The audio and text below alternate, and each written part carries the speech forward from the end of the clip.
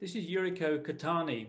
She's Japanese, she lives in England, she was learning English and she worked in an office in London. And then one day she decided to be a stand up comedian.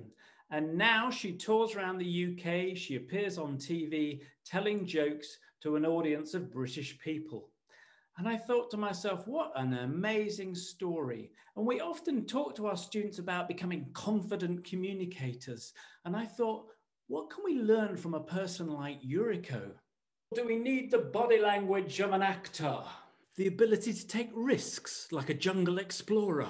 The ability to tell a good story. Or maybe it just takes good teachers working with students to build their confidence. Why not join me on May the 11th for a webinar with National Geographic Learning? We'll be looking at how we develop confident communicators in the real world, how we can take students at any level and develop their outer confidence and their inner confidence. Look forward to seeing you there.